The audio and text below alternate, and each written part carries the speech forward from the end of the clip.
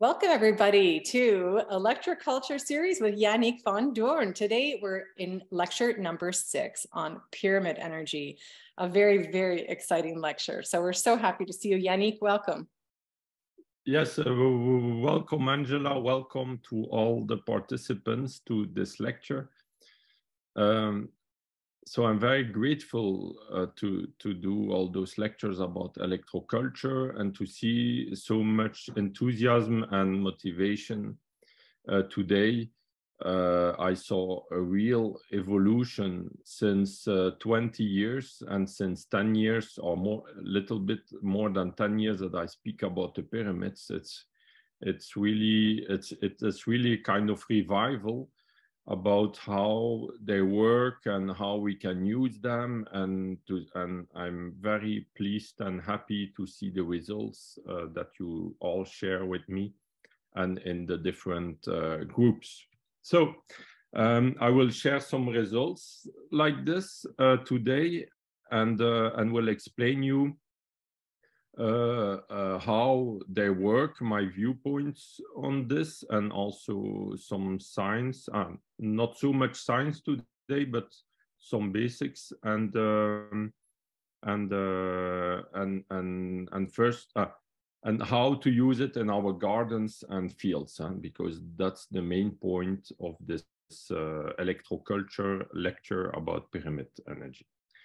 So let's begin. um,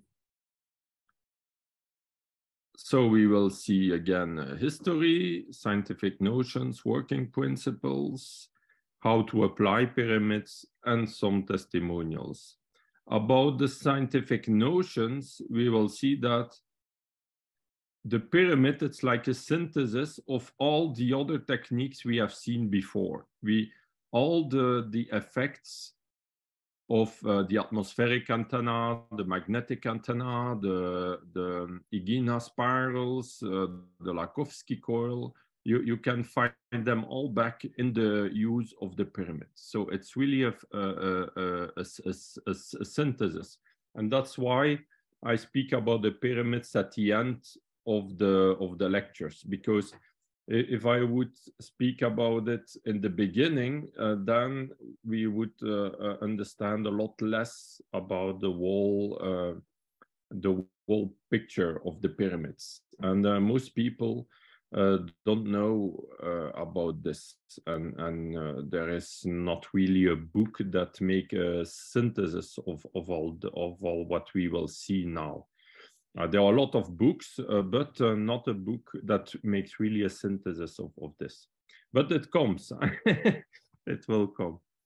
Um, so how I begin with pyramids, it was um, when I was student in the 90s, I, I was uh, like a lot of people interested in the in the mysteries of, around pyramids and so i read books uh, about this about the archaeology and the mysteries, but uh, I, I, I, was not aware about the effects on plants at that time. And it's only uh, like 10 years after, in uh, 2011, I did a lecture about electroculture at the Canadian National Convention of Organic Farming in Toronto and so it's in your region. and um, and there, so it was at 20 on 28 January 2011. I think I did also in 2012 or 2010, something like this. I, I did it two times. But the first time I went there, I, I discovered uh, by talking with uh, different people and farmers uh, that uh, uh, there was uh, Les Brown in Toronto or close to Toronto in Bancroft um, in 1978 that wrote a little book, uh, The Pyramid, and it's about the effects of the pyramid on plant growth. So it was really the, the topic that uh, uh, motivated me to, to know more about it and to begin to experiment with it.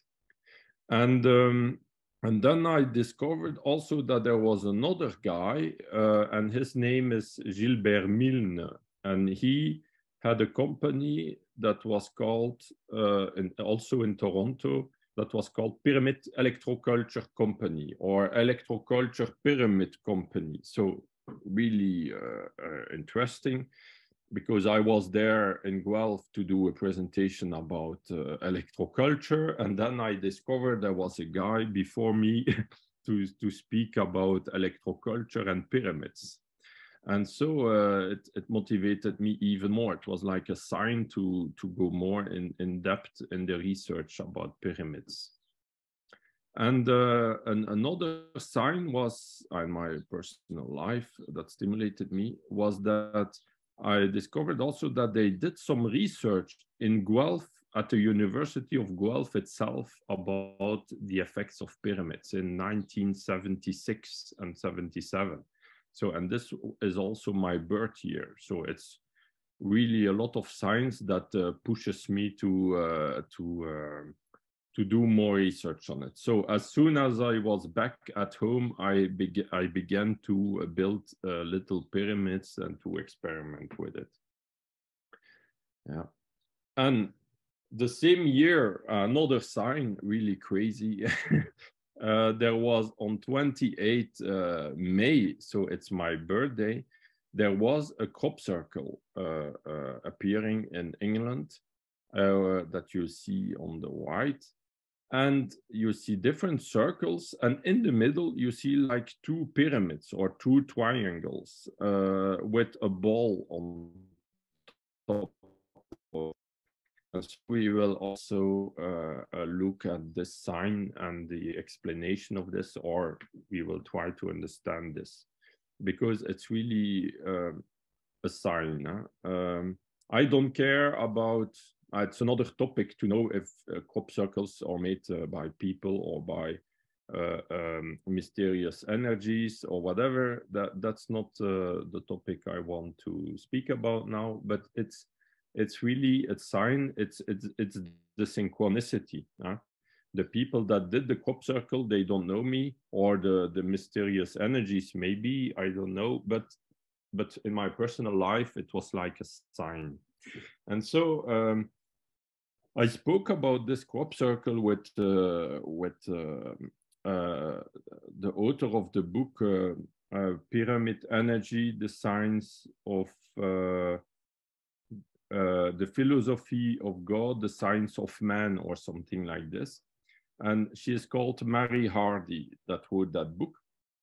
And I met her in in northern uh, in in the USA at the at the dowsing convention. It was also around 2011, and um, and she told me, ah, there's for sure probably uh, a message to you. And she was saying to me, it's like uh, she was feeling that it's about transforming bad energies in positive energies. So, and that I, I had to understand or I had to search or, or, or, or find out how to transform uh, negative energies in positive energies.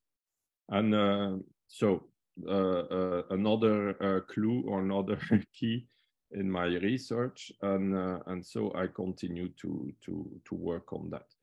Every every year I discover a little bit more about the significance, uh, the significations of the this crop circle, but uh, I didn't understand everything, but uh, some things. and so we will see this too.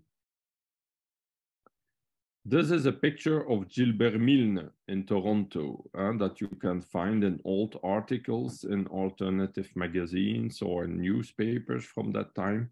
You see him on, on the bottom with a, a, big pyramid he built in his garden.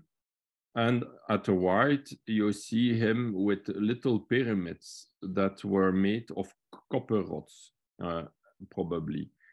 Uh, like uh, Les Brown. Les Brown and Gilbert Milne probably they knew each other.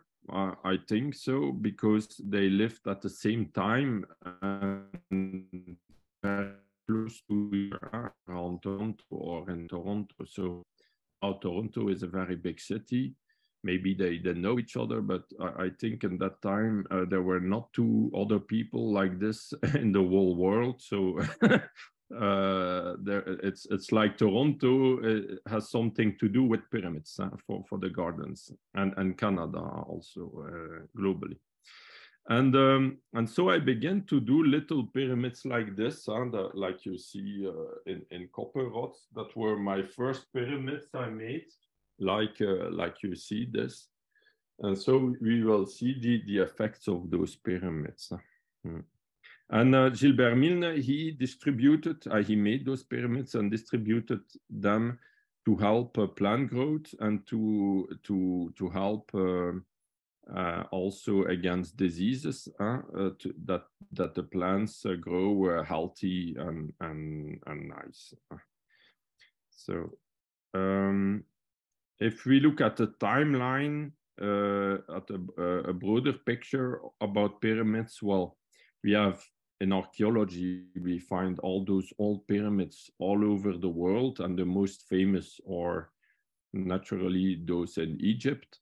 But uh, you have uh, pyramids uh, really all over the world, also in uh, in uh, Guatemala, in Mexico, in in Ecuador, in in South America, a little bit everywhere, also in, um, in Asia, in Indonesia, in China, even in France, there were pyramids, in Bosnia, in ex-Yugoslavia. Uh, really, you find uh, pyramids uh, almost all over the world. So it's very mysterious. And the pyramids are sometimes a little bit different all over the world, but uh, mainly they they respect certain um, proportions and certain angles that we find all over the world. Uh, we will see that. Uh, maybe we, we will understand a little bit why also. And uh, but we in archaeology, it's not really clear about the effects on plant growth. We don't find much um, uh, science about the relation between agriculture and pyramids.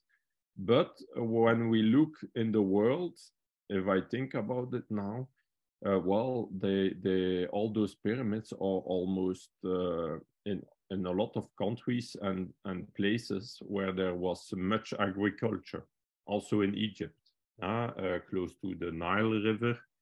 Uh, and so there was a lot of um, and when we look further, then we have the work of Les Brown and Gilbert Milne in the in the 1970s and 80s in, in Canada. And then uh, I speak about the effects of pyramids on plant growth. Uh, otherwise, the, the research on the archaeology of pyramids is is, is old. Uh, was uh, also in the in the 1600s, uh, 1700s, 1800s. Uh, but about the effects on plant growth, uh, it's mostly in the 70s. We find some books or papers about this. And then uh, the last years, like uh, since uh, 2000, around 2010, that I began to, to do experiments with pyramids. And that I I I, uh, sh I showed this uh, with testimonials, and that I began also to build and, and distribute pyramids. And uh, in my workshops, and then also a lot of people that went to my workshops that begin also to do that. So for I speak about for the garden. Mm. So we will see this. So pyramid technology is used for multiple applications. Huh? So it's a very broadband uh, technology, I would say. Huh? So you can use it to improve the garden, uh, to improve growing in the garden, uh, to improve harmony, uh, energy. So we can use it to energizing plants, to, to, to increase the energy of the plants, seeds, and the water also. Uh, it's also very famous to help to preserve food. So food will will uh, be able to preserve a lot longer uh, time in the pyramid, or or if it's uh, energized in the pyramid before, than, than without. Um, also against uh, radioactivity. Uh, there were certain experiments that shows or that indicates that uh, pyramid energy will transmute or will reduce half-life of, uh, of radioactive elements uh, in a very short time. Uh, uh, there are radioactive elements that maybe reduce 50% uh, of their radioactivity in thousands of years. And sometimes in a pyramid, it will be like in two days or a few days. So it's very strange. Uh, and Les Brown showed this too, that it helps to transmute elements. It's able to transmute atoms in other atoms. So it's it's really at a nuclear level that it, it has an influence too. And um, a pyramid can also be used to generate electricity.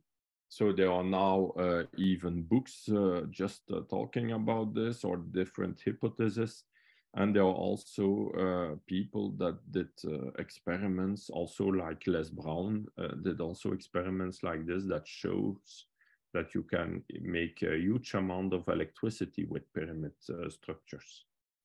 And also for health and well-being there you have a lot of books uh, speaking about the effects for meditation for healing for uh, a lot of uh, therapists all over the world organize uh, meditation courses or, or healing courses uh, in so it's it's quite well known now the topic that we will explore will be more how to use it in our gardens, but even if it's close, closely related to the other effects, um, uh, that's why I speak a little bit about them too. Hmm.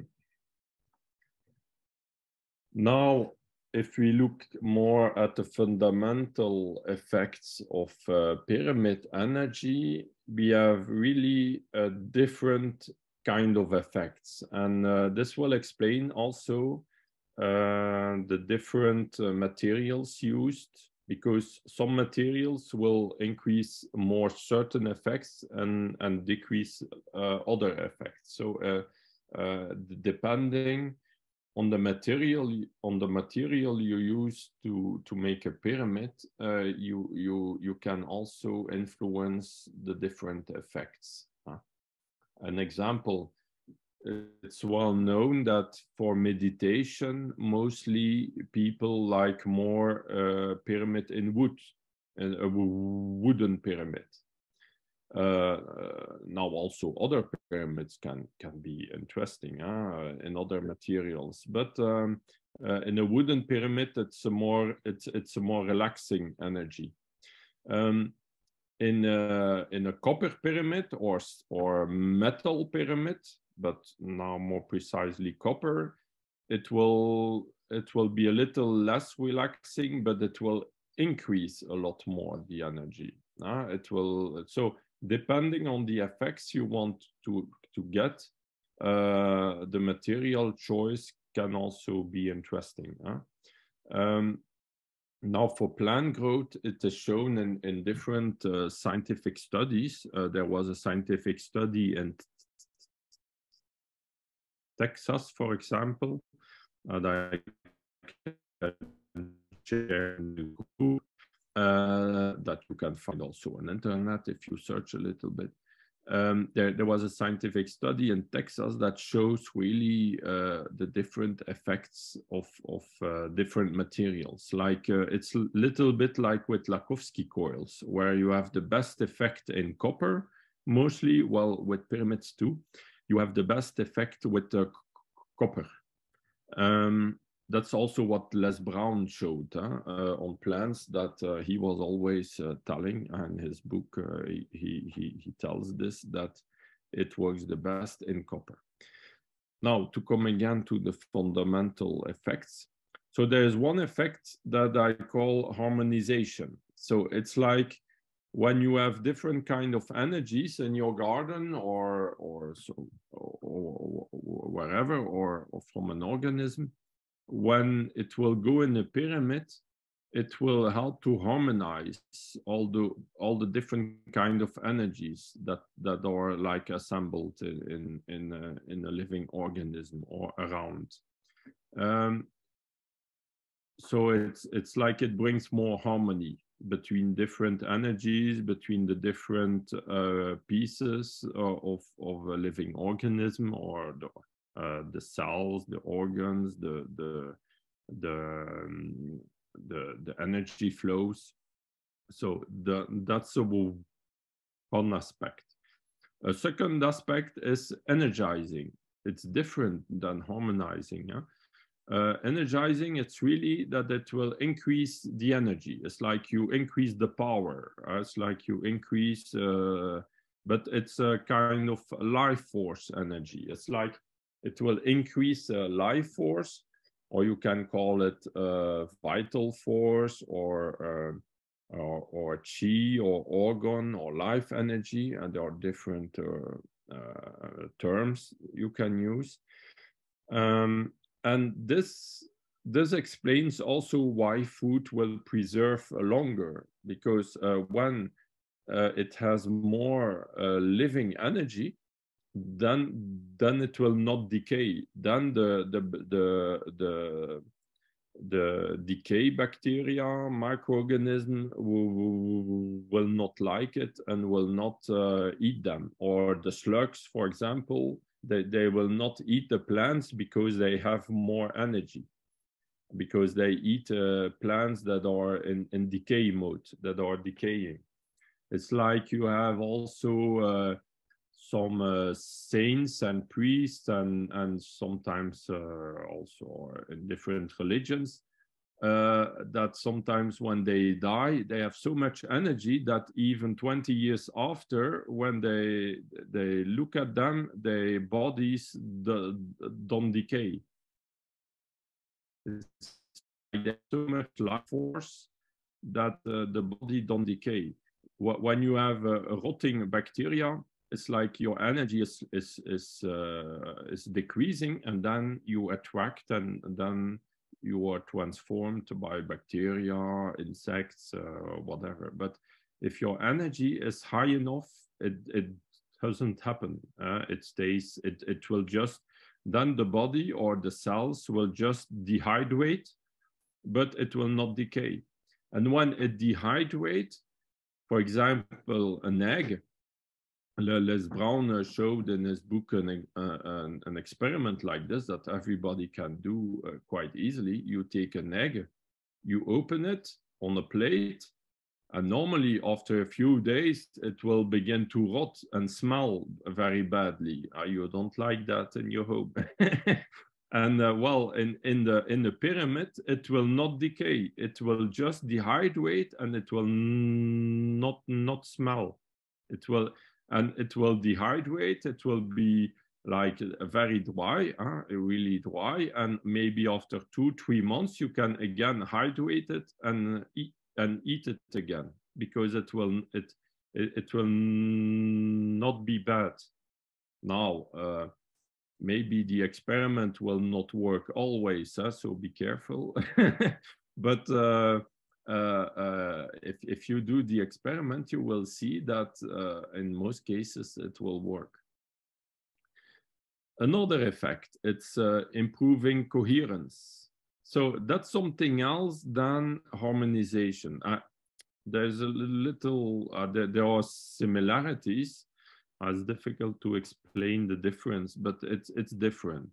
Uh, coherence, it's like you have a, a, spider web and when the energies are not coherent, then the spider web will be chaotic. If you have a room and uh, there's a lot of electromagnetic pollution and you have a spider web uh, uh, or a spider making his web, you will see that the web will be a lot of, uh, uh, there will be a lot of chaos inside. It will not be very, it will not be really beautiful. It will be like a, a, it will it will not have much uh, symmetry symmetry and with the pyramid it will improve coherence and you will have a lot more symmetry in the in the spider web, for example. And uh, uh, uh, an anecdote: uh, my my daughter um, discovered that the spiders really like to uh, make their web in the pyramid, and then she invented the uh, the um, like the the spider web trap in a pyramid. You you put a little pyramid in the corner of your room and this in the on the on the on the on the ceiling and on a little wire and uh, and then the spider will make his web inside and then you take the the spider out you just take the pyramid and and you put the spider in in your garden in your garden for example. That, that, that's an idea of my daughter. And she was like uh, six years old or five years old when she she told me this. But it's a good idea. Interesting so uh, a fourth effect is amplifying intentions so that's also very interesting so if you have good intentions well when you use a pyramid for example, you want to increase um, germination of your seeds. Well, then you will put your seeds in the pyramid and you have a certain intention when you use it and your intention will have uh, will be like amplified if you have a bad intention uh, an example i want to stop uh, germination of, of seeds well then it will amplify also uh, your bad intention so uh, that so then you will have uh, the opposite effect. So you you can and the pyramid is like a tool. Huh? You can use it's like a knife, for example. You can use it uh, to cut uh, a dessert or a slice of bread, or you can make war with it. And so you you can do good things or bad things. Well, with the pyramid, that's why also in uh, esoteric uh, uh, uh, um, uh, groups or or in bad groups also they use also pyramids because you, you can use it also in a bad way it, it and in a good way so we we are here all together to use it in a good way yeah but it's it will amplify the intentions so if you have good intentions it will amplify them if you have bad intentions it will amplify them too so that's it. But if you have no intention, just very neutral, then uh, it will mostly increase the good effects. I never saw bad effects with uh, with the pyramid. Uh, uh if it's uh, if it's uh, used correctly, if it's not used correctly, it's different.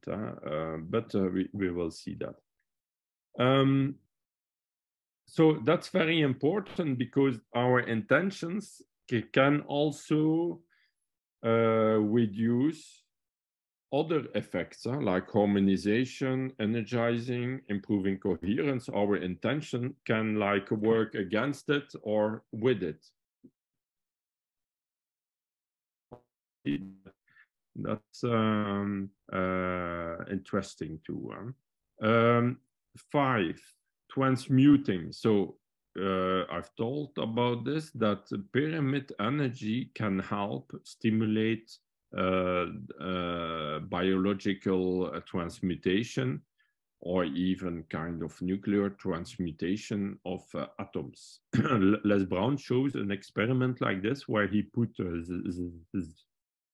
zinc between between three pyramids and the zinc in two weeks is transformed in calcium uh, carbonate. Uh, really very strange experience. Uh, it is said in in uh, in in uh, yes uh, in um, in alchemy that they never found gold in pyramids because when you put gold in a pyramid, some say that the gold uh, like a, a, coin, a gold coin, for example, or a little piece of gold. Well, uh, with time, there's like an oil uh, creating around or, or coming out of the gold, and uh, like also Alan Reid speaks about oils coming from rocks and things like that. Well, uh, you, you have a, a, kind of oil coming out of that gold, and that gold is transformed in that oil. And then when that oil evaporates, it's like a white powder after it, but there is no gold anymore. it's uh, really strange. So don't put your gold in the pyramid. uh, uh, um, I just uh, I don't know. I never did it. Uh, uh, I don't have gold to put in the pyramid, but to to try it. Uh, but so, um, but it's it's very interesting to to know that. so it's also a transforming tool of energies. When we speak that a pyramid can increase or make electricity, uh, uh, well, um, uh, it's not that that electricity is appearing from nowhere. No, it's like the pyramid will collect certain energies and transform it in other energies. So it's like a, a solar panel that will collect uh, sunlight and transform it in, elect in electricity with, with the help of silicium crystals. Well, a pyramid is like a crystal too. So it will it will also transform um, not especially sunlight because it will also work in the dark, but that will transform certain energies in other energies that we can use, like electricity. Uh, so uh, uh, now uh, the in electroculture, we don't need especially uh, more electricity, but we need uh, the good energies that improve plant growth. Uh, but uh, for the people that are interested in in uh, alternative energy research and free energy research, it's uh, really, in in my eyes, pyramid energy or the exploring pyramid um, um, experiments are really or the pyramid is is really one of the the most interesting uh, techniques I think uh, to to uh, to um, uh, one of the most interesting techniques to generate electricity. Uh, the the experiments of Les Brown showed shows it also. He has a presentation called uh, Physics of Crystals that you can find of YouTube, on YouTube. It's like a two-hour presentation. And, uh, and at the end, uh, he speaks about an experiment he did uh, that shows that a pyramid generates a huge amount of electricity. Yeah. So um, if I conclude, you have harmonization, energizing, improving coherence, amplifying intentions, transmuting and transforming tool of energies.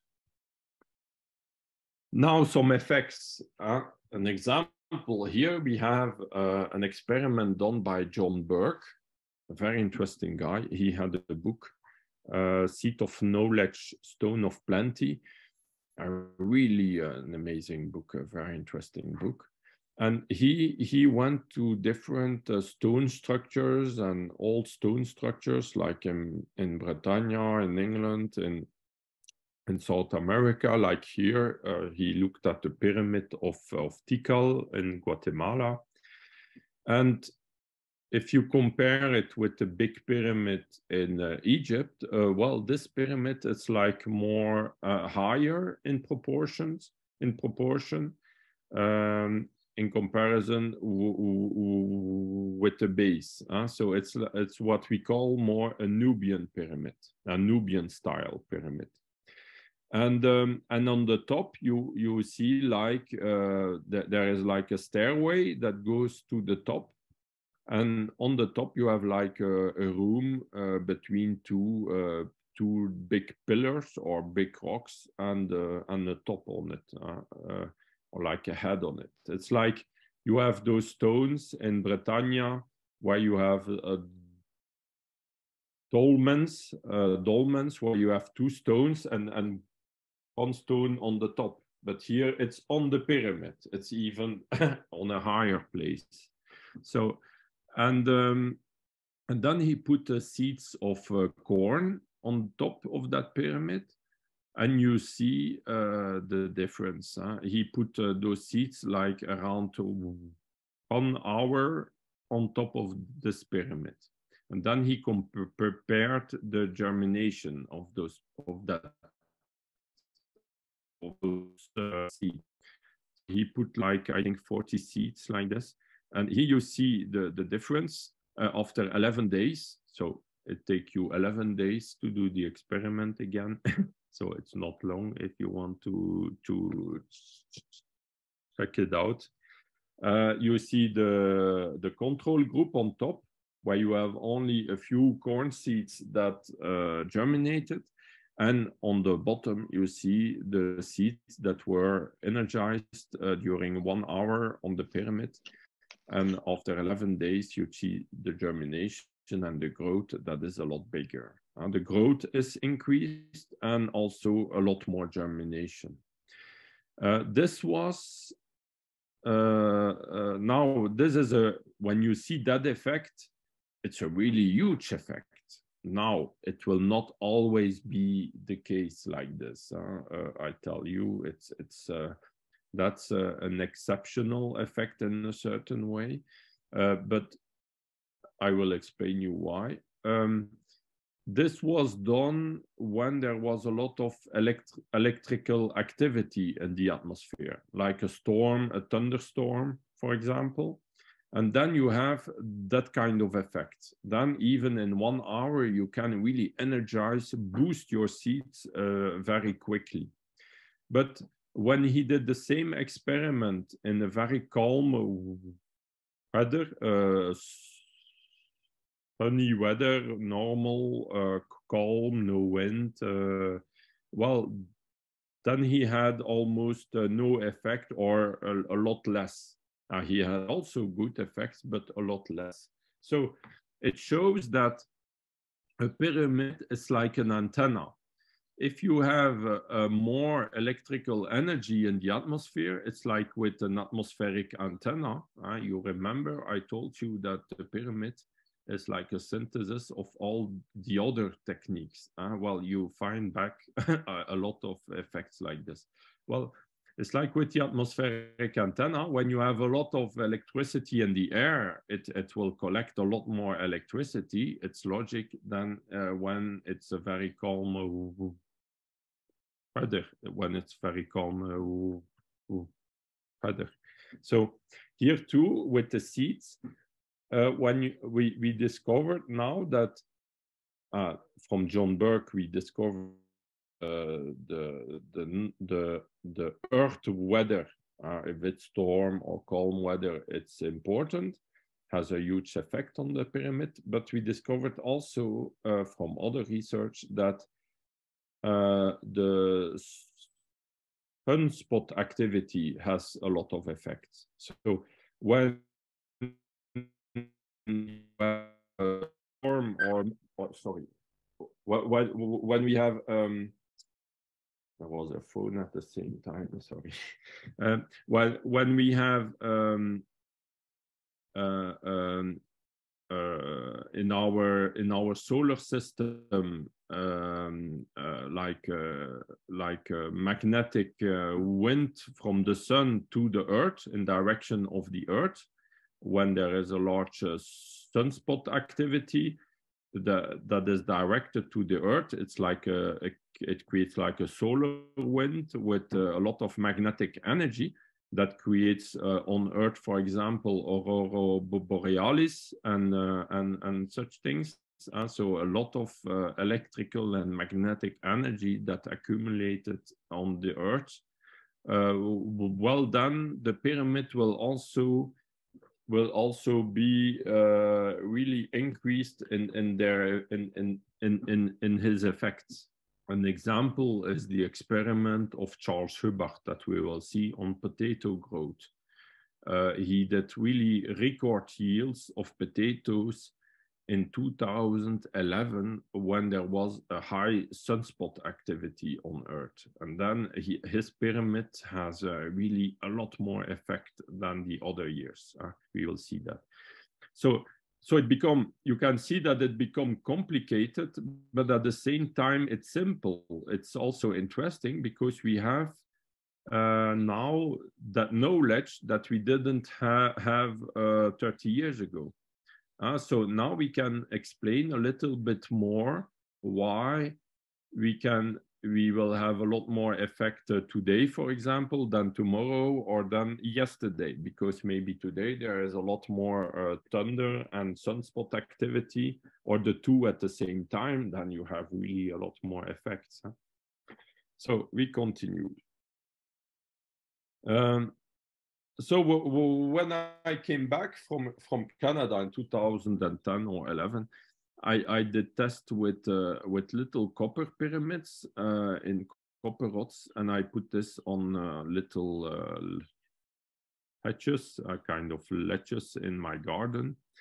And you see on the left, uh, kind of little ledges that is a lot bigger than the one on the right. So that was the effect of the pyramid. So that were my first little experiments in my garden.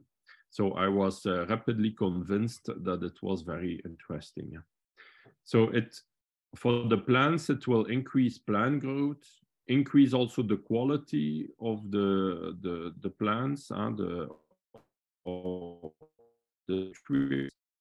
It will increase the yields uh, sometimes by two, three times more, sometimes even a lot more. Uh, depends. Uh, sometimes a lot less because it uh, the, like we have seen the pyramid it's like an antenna so it depends on a lot of uh, uh, effects from outside the pyramid too so um, it will help a lot for seed energizing if there's if there would be only one application uh, to do with pyramids that i would advise it's uh, really to energize all your seeds that you use in the garden with the pyramids.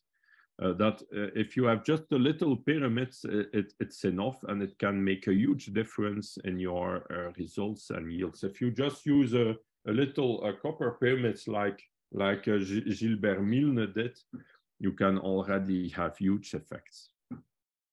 so increasing germination, reduce of fertilizers and pesticides. Yes, because it's like you will increase the energy of your seeds and then it will follow the whole life of the plant it's like uh, you will uh, it's like you you will wake up the the the the bigger potential of the plant it will be a lot more disease resistant and also a lot more resistant against pests and, and uh, stresses and uh, climate stress, drought, or excess of water. It will really be a lot more, uh, uh, the, the plants will be a lot stronger. It, it can also make a difference like it increases the energy, it can make the difference uh, between uh, lettuce that that will be eaten by slugs or that will not be eaten. That will just uh, pass by and say, "Oh, I don't eat him because he has too much energy." um, so it can make huge difference. Mm. Another example testimonial that I like to share, it's it was a farmer from China that contacted me. And he, he built a, a big pyramid uh, greenhouse uh, as an example, like uh, Les Brown did too. Uh, Les Brown built even a lot bigger. He, he built a, uh, a pyramid greenhouse that was uh, two levels high, as big as a house of two levels. So here it's, it's it's it's more little, but also quite big. And that that farmer, uh, he did all that work in wood and then with plexiglass on the wood to make this greenhouse. And then he, he, he was searching because he didn't have any effects. He didn't saw any effects of the pyramid on his plant. So he was very disappointed. And then he was searching why, because he had read some books and he was very motivated and he didn't have effects. And then he contacted Mary Hardy and she uh, she put me in contact with uh, that farmer or that farmer with me. And so that farmer contacted me. And then I, I i told him that he has to put a copper wire or tube uh, all around the pyramid edges and sides and he and and and and he he he has he hadn't uh, uh, and and it was not the case. He he didn't do that. So then he did it, and he put then the the the, the next year uh, a, a, copper like you see around his uh, wooden uh, pyramid. Uh, so he he he welded the the copper corners together. It was like not so nice welded, but it worked. So we will see. So that's his pyramid in his uh, field. And then um, he did experiments and then he began to see really amazing results. So it's it shows you that to make it in copper is really important if you want to see effects. Uh, if you don't want to see effect, make it any material you want. But I think we all want to see uh, results. So uh, if we look at uh, past experiments, uh, we learn that it works the best with copper.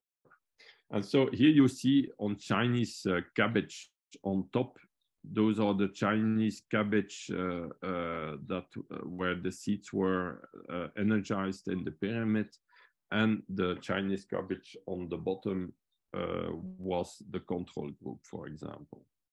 So that was after 20 days in the pyramid. Again, the same picture. Here uh, with numbers, uh, he wrote me an email with the results and with Google Translation, we could uh, ah, uh, we, we, we, we, could communicate because I don't speak Chinese and he don't speak French or English. And see, here you see uh, on the picture on top right that on the left you see the Chinese cabbage from the control group and on the right uh, uh, that were energized in the pyramid. So it's a huge difference. Or on the picture left you see the three on the top were the control group and the three on the bottom were the ones energized in the pyramid. So it's a huge difference. So also important how to use it. If you want to make it work, you need to put the pyramid uh, horizontally. It need to be horizontal. Huh? If you put it uh, like on a hill or something, it will not work. You need to put it horizontally uh, with the energies. And um, and then also you need to orient it uh, uh, north, south, east, west. So each face has to be uh, in in front of a in in, in front of a direction, huh? like like you see on the picture. So this is uh, a picture from the book of Les Brown. Uh, uh, that shows uh, how how to orient the pyramid. If you don't orient it, it will almost not work. It's like you take a bucket to collect rainwater. If you put your bucket on the side or upside down, you will not collect rainwater. Well, with the pyramids, it's the same. If you don't put it in the right direction with the Earth's magnetic field, uh, then it will not work or it will work maybe at a few percent of its uh, potential. And you feel it also with your hand if you if you put your hand above the pyramid and it's uh, well oriented, you will feel a lot more energy coming out of the pyramid if you are uh, sensitive enough. Huh? Uh, you feel it too. Uh, so the building material copper, also the corners if you make it in copper, the corners have to be uh, welded together in copper, not with brass or not with other metals, no, in copper too. And um, uh, uh, all the corners need to be a connection copper to copper. Uh, otherwise, it creates like uh, energetic imbalances or a, a, disturbance in the energy. And then it, it can even uh, have harmful effects. So um, as you can have uh, good effects, you can also have bad effects if you don't use it uh, rightly. Hmm. Also good to know. Huh? About the construction and proportions, uh, in the pyramid, we find there are two angles that are very interesting that we uh, there are a lot of angles. Uh, you have uh, you have books uh, that speaks uh, uh, a lot about all, all all that kind of mysteries. But here what we will look at is the angle of 51 51 degrees or 51.85 degrees so if it if it's weighted in decimal, then it's 51.85. If it's weighted in uh, really in degrees, then it's 51 degree, 51 minutes. Uh, so that's the ideal angle. Now, if you look in books about the pyramids, you will see that all over the world, it's around between 51, 52 degrees. So uh, uh, they, they don't have always the precise size or sometimes it it uh, uh, uh, their their sources are a little bit different from from one book to another, but it's all always around those uh, those angles. And then the so that's the angle between the face and the basis. And then when you look at the angle between the edge and the and the base side, then you have 42 degrees. So uh, it's interesting. You will see why the 42 and the 51 is interesting. And then you have another uh, uh, proportion that is very interesting is the golden uh, ratio or the golden mean. It's that's between it's the red part, the hypotenuse um, uh, B. It's uh, the golden mean multiplied by the the side uh, uh, um, a half of the side. So it's C. C multiplied by uh, the golden mean, that is 1.1.618. Um, um, uh, you have uh, the the b uh, length, uh, the length of b. So you you find again the golden mean or the golden ratio in the classic pyramid. So that's that's the classic pyramid or what we call also the Gizeh or Cheops pyramid uh, like Egypt find also almost all over the world we are speaking always a lot about the, the, the reference of the Gizeh pyramid because it's the pyramid that is the most uh, known where you have the most books of, around it. Uh, but uh, it's uh, we, we have to be really conscious that it's only one of the pyramids in the world. you have a lot of pyramids in the world, and um, and it and the one in Egypt it's not necessarily the most interesting one, uh, but it's the most uh, touristic one. uh, um, but they are all interesting, uh, but we will see that. Um, yeah. So here you see uh, the connection with the natural rainbow. Uh, um, so um, you will see in my presentation, I don't speak about uh, dowsing and uh, and geobiology uh, with pyramids or uh, only a little bit because it's a whole other topic. I want to approach pyramid energy in a very um, rational way or scientific way. Huh? And so uh, I want to show you first really the real effects and the real relations with uh, constants you can find in nature. For example, the 51 degrees corresponds with the angle between the rainbow, between when you look at the rainbow and the horizon. When you have uh, the sunlight uh, that will radiate to in, in, the, in the raindrop, and it will it will be reflected to your eye well that angle is uh, for the second rainbow it's 51 degrees and for the first rainbow it's 42 degrees so it's interesting that we have those two angles so 42 degrees and 51 degrees in the in the classic uh, Cheops pyramid. Uh, you have also the Nubian style. There is 51 degrees in the top edge, in the top of the pyramid. Uh, so, but you don't have the 42 degrees in the Nubian style pyramid. In the Nubian style pyramid, it's another proportion of pyramids that we find all over the world. Uh, a little bit less than the classic pyramid, but uh, also almost all over the world. And you find also the golden ratio or golden mean between the side uh, multiplied by the golden ratio give you the edge from the corner to the top. Uh, so it's uh, you find also, and and that's why we call this pyramid the golden mean pyramid or the golden ratio pyramid.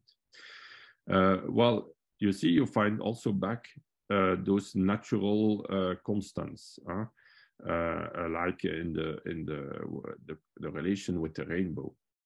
Interesting to see also a rainbow has all those colors, the seven colors of the rainbow.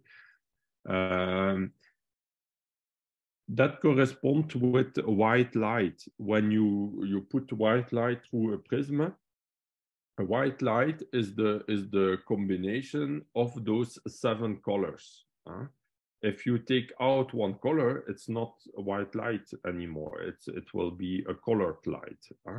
So uh, if you have like a white light where you have uh, uh, all the frequencies, then you have all those colors, like in the rainbow. Well, uh, a pyramid, it's like an energy transmitter collector of kind of, uh, I would say, white light, but it's not white light, but it's like it will create a broadband frequency spectrum that will be uh, positive uh, for for all life. Uh, because if you just put one one kind of light or one sort of light, you create imbalance because in nature you need mostly the whole spectrum. Uh, it's like a white sound when uh, you have a waterfall, you have a white sound with a lot of frequencies that are positive for life. While here you have a white light and a pyramid maybe a kind of uh, white uh, kind of energy in a certain way. Um, it creates light uh, in a certain way also, uh, a pyramid and that's uh, that's similar with the Lakhovsky coil effect because the the idea of a Lakhovsky coil uh, that we have seen in another presentation is to create a broadband frequency spectrum that when the plants need a certain frequency it will uh, from uh, that energy field uh, from the broadband frequency spectrum? Well, probably a pyramid works a little bit uh, similar with this. You see also the relation with water, with, with water uh, in the rainbow and the angle. So it's like a pyramid. It's closely related with the water the 51 degrees, it's also the angle you find back in the round tower. And here we see then the relation with the round towers. So we have seen already a relation with the Lakhovsky coil, relation with the round tower, because you have the 51 degrees of the most of the round towers here, the top is on 51 degrees. So it's not by hazard. And also with the water because the round towers work the best when you put it on the water. If you have a, a, a source or a, yes, a, spring or uh, in the soil, um, or you can find with rods uh, where you have a water energy. Uh, you can find this with dowsing too, uh, with rods Uh, well, uh, if you put the pyramid on those places or the round tower, it will work a lot better too. Uh, so that's also interesting. So we have a relation with frequencies, with water. So, and that's that's quite um, scientific. It's it's not esoteric stuff. It's really a science. You can really measure this. Mm. So we continue. Um, yeah. Here, that's a picture. That is a picture from the book of Les Brown, uh, where he shows uh, where you have the most energy. So it's not like the people think at one third of the height. That is all height. This is only with the Cheops pyramid in Egypt that you have a room inside. But the most uh, pyramids in the world don't have rooms inside. They are like plain, and you have like a, a, a plateau on the top of it, where and a stairway to the top, like we have seen the pyramid of Tikal in Guatemala. Now, the the Giza pyramid is is uh, Giza pyramid or or, or Cheops pyramid is is very interesting with that room too because when you go in the pyramid, in that room, the sarcophagus is made of granite that is very paramagnetic. And on top of the granite, you have layers like a, a tower of layers of granite. And the, and the other part of the pyramid is made of uh, limestone. So it's like you have a, a tower of paramagnetic rock inside the pyramid. Uh, so you see a, a, relation again with the round towers of Ireland or the paramagnetic round towers and the pyramids. And also other interesting facts.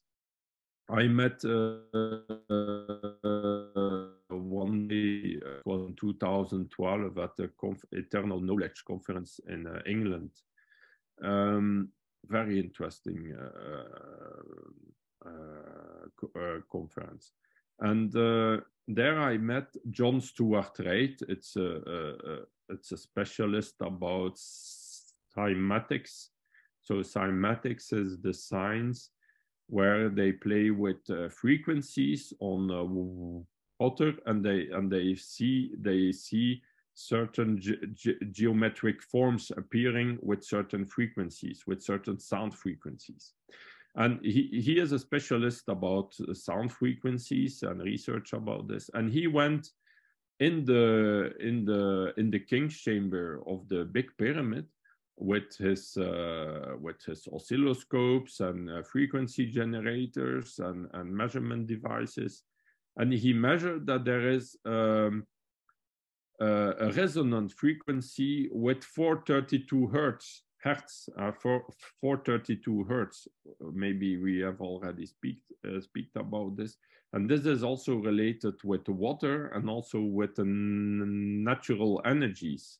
It's very powerful. Uh, um, you can see that in my presentation about the influence on sounds on plant growth. So you see again, an, uh, a relation even with sound. Uh, so a pyramid has relations really with a lot of uh, a lot of uh, electroculture techniques. It's really amazing. And so uh, Les Brown, he he observed or he discovered that you have the most energy in the in the edges and the corners and on the top. That's really um, I advise you if you have just a few seats, you put them on the top or or in the edges, and there you have a really like a, maybe uh, two, three, four, or ten times more energy than uh, uh, everywhere else in the pyramid. the pyramid has really a local energy field mostly, or I speak about the energy field that really has effects on plant growth. Huh? Uh, you can feel the energy may be a lot in a, in a bigger area, but the effect on plant growth is very local. Uh, that is uh, um, materialized or or um, uh, limited to the to to the surface of the pyramid. There was one day I had not enough uh, copper uh, tubes, and then I assembled a pyramid with copper and aluminium. I put potatoes. This was in uh, maybe in 2012 uh, or 13 or something. And uh, this was a very bad idea. Uh, so I, I can um, I can uh, confirm that it's not good to combine different materials because then I had like uh, maybe 30% less yield and less growth with uh, the, the potatoes uh, energized or influenced by the bad pyramid. So when you use different materials, it's really a bad idea. It's better not to use at all then or you or really uh, make a pyramid in the, in the same material. It's very important. Also important is that the pyramid uh, corners of the base has to be connected also. It's not just I make uh, the edges that go to the top and it's finished. No, you also need to collect to connect the corners on the on the floor uh, the, uh, on the base. The, this is also very important to make it work. Otherwise it makes also bad energies uh, if if you don't make a base on on on the floor then um, it will so so the square uh, then uh, it it has also bad effects on plant growth. Huh? So uh, if you want to have good effects, you have to make it uh, uh, in the good way. Also, an application that is very powerful. Um, it's to energize basalt with pyramid energy. we we have discovered, we I, I think I, I, was the, the first one to begin to do that. I think uh, it's that uh, I, am not the first one that energized things in pyramids, uh, but I, I, I discovered that basalt, compared with other materials, is like uh, a storage battery of uh, pyramid energy. It really works very well to store and to accumulate uh, pyramid energy. Um, so it's interesting because basalt is made mostly of uh, of uh, of silicium oxides and iron oxides and uh, different other uh, uh, elements, but you have the silicium um, uh, crystals that will maybe resonate more with cosmic energies, and then you have the paramagnetic particles of the basalt that will resonate more with uh, with uh, earth magnetic energies with low frequency so with really earth energies. So uh, the pyramid will amplify all those energies. So it's like basalt has a large broad spectrum uh, effect and a broad spectrum uh, storage capacity. Uh, it's not it will not store only uh, high frequencies, it will also store uh, low frequency energies. So it will store all kind of energies. And uh, what we want to get, it's a holistic, a holistic approach and a holistic influence, uh, influence to bring harmony and, uh, and a lot of vital energy. And the question that comes uh, back regularly is how yes i cannot put a pyramid in my whole field uh, it would need a pyramid of 100 meters large or something like this so uh, how can i use a pyramid? Well if you want to uh, uh if you want to spread pyramid energy in your wall fields uh, or your wall garden it's possible like this. You put uh, like a quartz sand you can use other sands also or you can use a basalt, it will even work better. And, uh, and just uh, put it in the pyramid, it will store that energy and then you spread the basalt. Even, even if it's a little bit, uh, it's really energetic, it's like a radiation. Uh, uh, you, you just spread a little bit uh, to the plants you want to, to increase their life force. So if you don't want to increase the life force of your weeds, you don't do put it on your weeds. Uh, if you want, you you do like you want. So, but uh, uh, you you can choose which plants you want to stimulate like this also in your garden. And it's also very funny to do this with uh, the children because if you explain them, uh, they they they they will. then you can. It's like. Um, it's like a, a play. Uh, you you take uh, some basalt that you have put in the pyramid. You you take it out and you you spread just a little bit to the plants they like or to the like uh, strawberries or raspberries or lettuce or whatever. And but what I would recommend, it's not to put on the leaves. You just put on the soil around the plant. This works very well. If you put the basalt directly on the leaves, that's not so good because basalt is very alkaline and then it will sometimes like burn or also with the sunlight and the silicium, it, it, it, it can, uh, it can be too much energy uh, locally. So it's, uh, then it, it will like uh, burn um, uh, it will like making burning spots on the leaves. So you don't you don't uh, want that. So you put the basalt on the soil around the plant, and this works very well for the plant.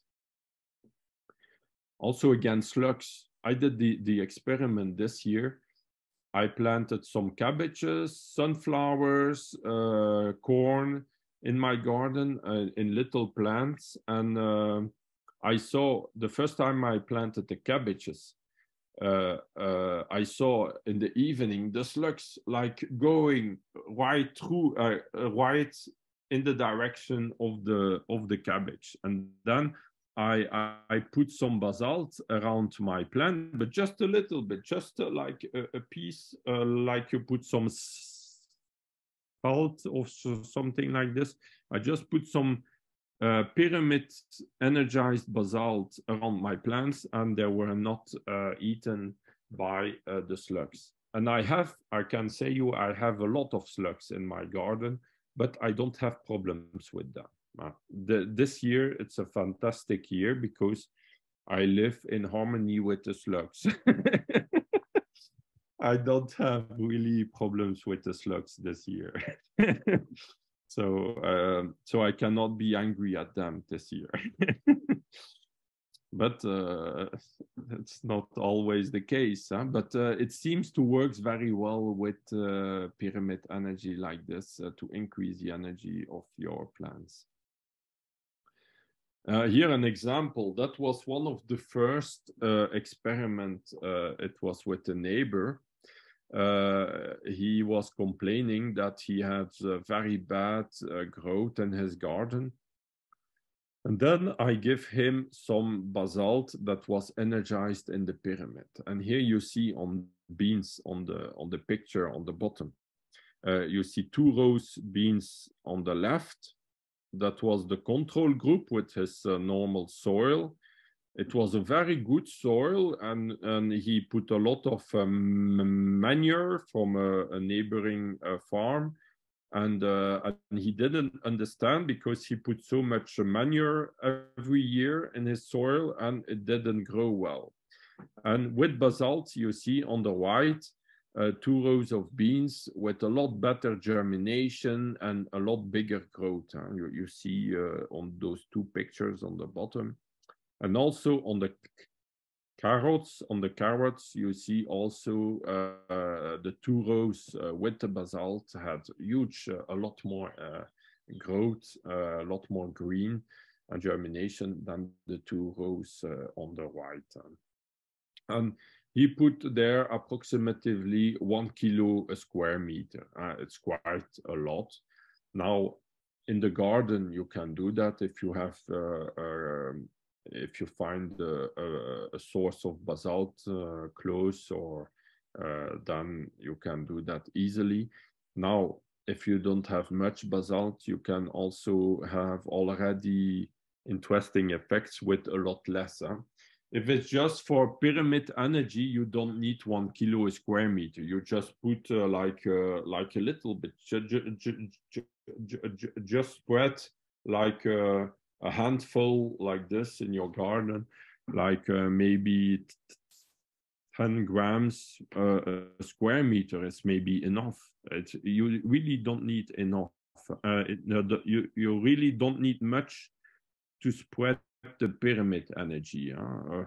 Uh, um, it's not about um, it's not about the quantity. It's more the quality of the energy. Huh? Yeah. So pyramids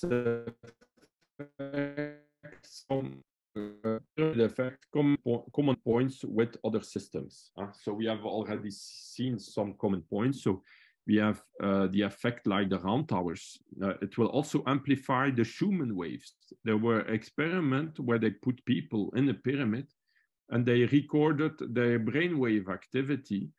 And when uh, and then they observed that uh, we have um, an increased uh, uh, brainwave activity at the Schumann frequency. So very uh, when we go in the pyramid. So that's really very interesting. And uh, so we have we have seen already that Schumann frequencies are also very important for plant growth and health. So a pyramid will help uh, to do that. Also, you have common effects with the atmospheric antenna. You have the point effect. It will generate electrons all around. It will uh, connect the earth energy with the cosmic or with the atmospheric electricity, with, uh, with the sky energies.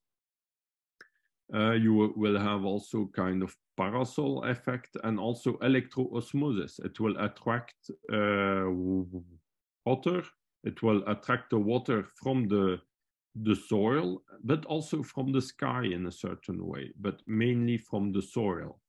Uh, you will see that if you put a copper pyramid in the garden and uh, it it rains, you will see that uh, the the earth will stay longer wet under the pyramid than than um, than uh, uh, than uh, be, be, be beside it and than uh, on the side of it. So uh, you will see that the water will, uh, that the earth will stay longer time wet. It's like the rain doesn't evaporate as as quick in the pyramid. It's, or it's more that the, the, the water will be attracted from deep in the soil to the surface in the pyramid. There is even an anecdote of an American that built a big pyramid house in concrete. And he observed in the sand when he finished to build his house, he observed in the center of his house a lot of moisture. And then there was even a well uh, appearing of, of water. And then he and then he made a pound in the middle of his house with the water that coming to the surface from deep underground and it was in the middle of his house. Uh, so it's uh, that that's that electroosmosis effect of the pyramid, like we find also around the atmospheric antenna. And then you have also the effect of the magnetic antenna. It will be like an antenna with the Earth magnetic field. So that's why we have to uh, orient it also uh, south to north uh, with the Earth magnetic field. Hmm. So the pyramid will be in resonance with uh, Schumann waves. So it's with the energy from uh, thunder or from storms, uh, the, the electrical energy uh, of the atmosphere, and also with the Earth magnetic energy of the atmosphere uh, of, of our planet Earth. And those energies are closely influenced by sunspot activity. So I would put, uh, it would be good that I put an image of the sun also on that picture uh, to, to, um, to make it more complete. And not only sunspot activity, but also the, the moon cycle, the influence of the moon. Uh, in uh, biodynamic farming and uh, approaches, uh, they look a lot about the at the moon cycle and the influence of the moon on plant growth. Well, in the pyramid, it will be amplified. So there are like uh, one or two days or a few hours a day, uh, one or two days in a month, where you have a lot of bad energies from the moon while in the pyramid, it will be then a bad time to energize seeds because then it will have bad effects. I, I have a confirmation of this uh, with uh, one of my students, our participants to my workshops that did a lot of experiments with seeds. And when he energized it at, at that time, uh, uh, uh on a bad day of the moon cycle, he had really bad effects. Um, so it's also interesting to know so it's all always good to write down the the dates when you use a pyramid uh, to energize your seeds because uh, uh, you will have sometime really huge effects and some other times less effects and so you can come back to your agenda and look, ah, yes, but that day there was a lot of sunspot activity, or there was that moon cycle, or that uh, or that uh, situation, or storm uh, weather. It's good to to to observe and to write this down uh, to to gain more knowledge and experience. Here's some uh, some testimonials on uh, from farmers in, in France with who I work.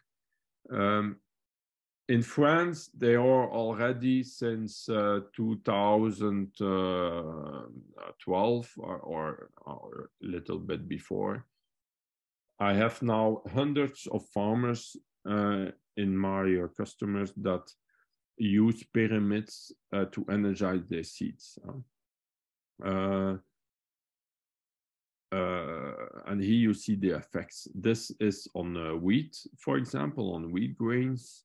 You see on the left the control germination group, the control group, and on the right the ones that were energized under a big pyramid of around four meters uh, square um, uh, compared with the control you see a, a bigger germination. Hmm.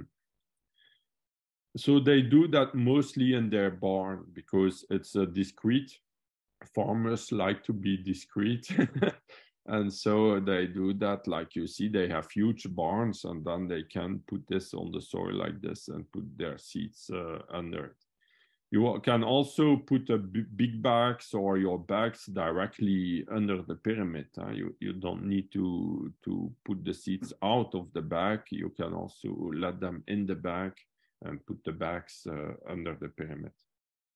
Here again, a picture on soybeans and on uh, alfalfa or or another um, rapeseed. Ah, yes, it's rapeseed.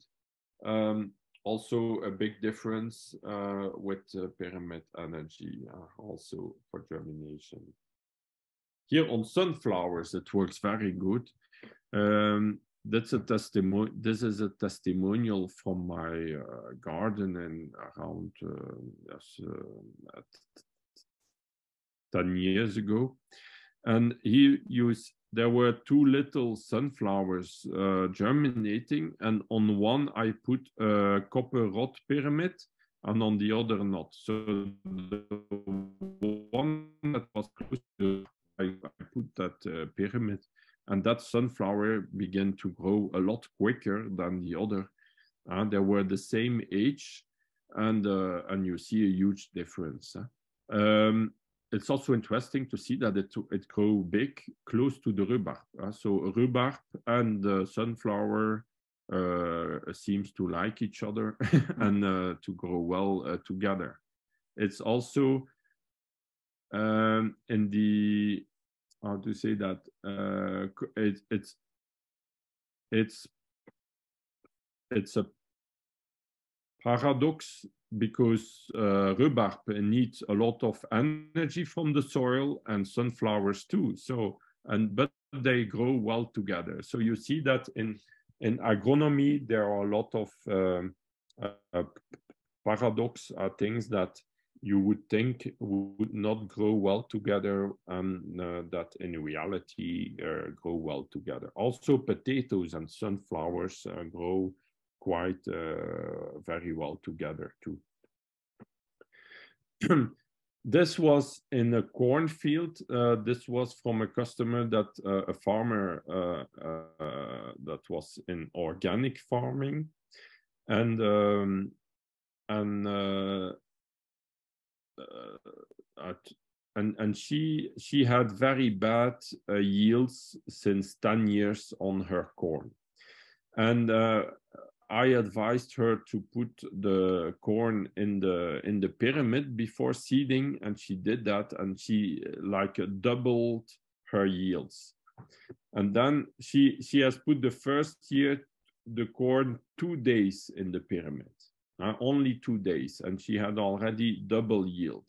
And then the year after, she put the corn like a whole month, a whole moon cycle, uh, quite uh, almost a whole month in the pyramid. And uh, and then she had and and she also visualized by uh, her intention and by prayers a pyramid all over her field uh, in her whole field uh, that was uh, several hectares big. And, um, and then she had even more.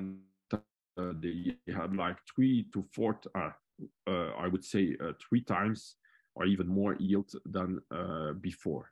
And she had like two to four years of corn on each stalk, on each uh, maize uh, plant, uh, and in comparison uh, with uh, only one to two uh, years. Huh? So it was really a, a, big effect. And also, what what I found really amazing when I went there to to to to to look at her huge results is that when I came uh, close to the field, it was really smelling very good corn. It was really smelling uh, the smell of corn.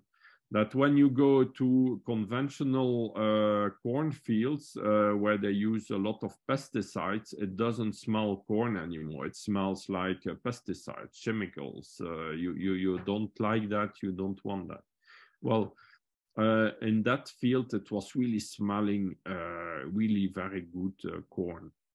And um, what is also interesting is that the the, the that farmer uh, that, that that that woman that contacted me in the beginning, she was like really desperate the the first time because it was like since 10 years that she was not able to grow a good yield of corn and she did all her best to do it but uh, it didn't uh, it was not successful. And she was thinking that it was the quality of her soil that was very bad and things like that comparison with uh, neighbors and, and conventional farmers around. And the conventional farmers were not uh, were like laughing at her uh, that was doing organic and with very bad results and then it was after um, the pyramid use, it was the opposite. She had a lot bigger results than in conventional farming with uh, pesticides and, and chemical fertilizers.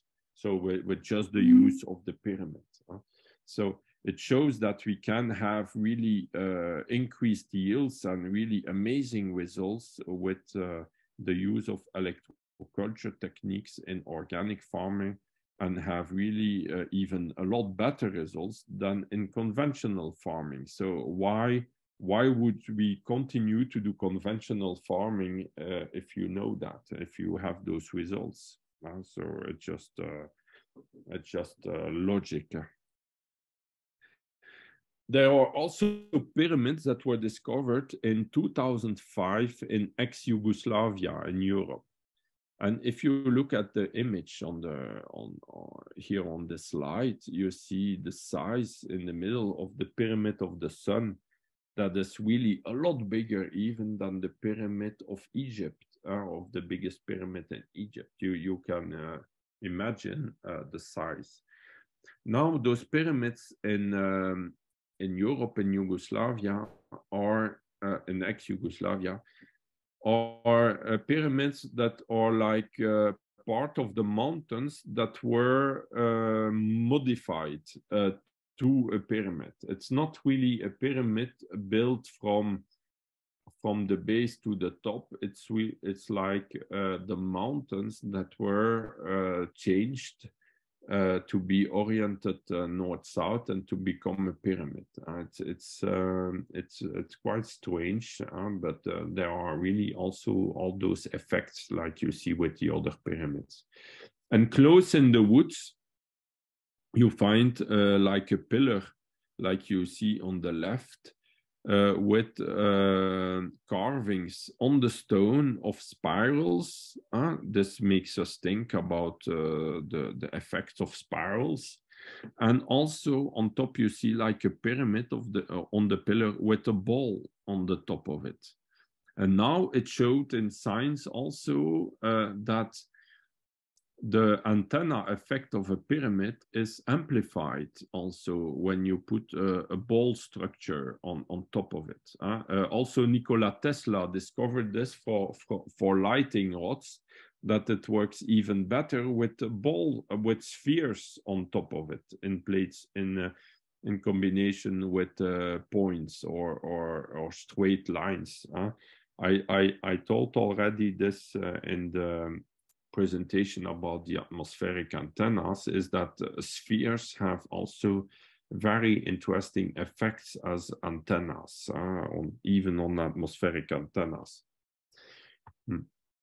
Here you see again the image of that pillar. And, and when I saw the, this uh, pillar, it's called the Olovo uh, obelisk or something like this. Um, uh, I found this even more mysterious and interesting than the pyramids. Uh, it's also kind of pyramids.